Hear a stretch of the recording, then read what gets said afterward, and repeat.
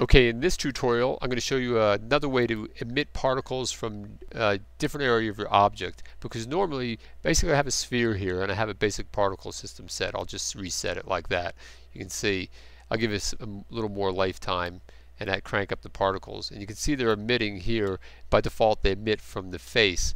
So when I press Alt-A, they're all popping out of the face of the object. Or you could select the vertex and they're dropping down. Well, maybe I just want it to come straight out. Well, it's actually being affected by gravity. So I can come down here under the field weights here and go to gravity. I can change that to zero. Alright, when I do, now they just shoot straight out from the object like that. Alright, so that can be really useful for certain things.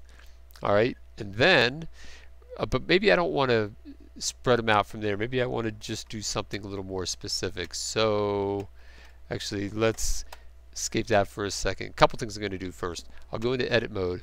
I'm going to go into face select and I'm just going to grab a couple of these and I'm going to extrude it with E out like that. That way I have a I can orient this sphere when I rotate it. So if I'm rotating it on Z, R, Z like this, I know which way it's actually pointing. Alright, so now back into edit mode. Now I'm going to grab maybe this one and this one and this one and this one here like that and I'm just going to press P and separate that by selection. Alright so how did that actually do that? Let's see.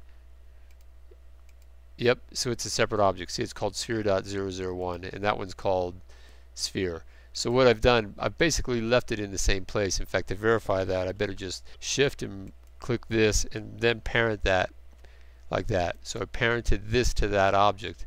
That way when I click this object here and move it around, those other pieces stay with it. So now I'm just going to get these five pieces like this here. Well, first, actually, maybe I'm going to come up here. I'm going to get rid of this particle system.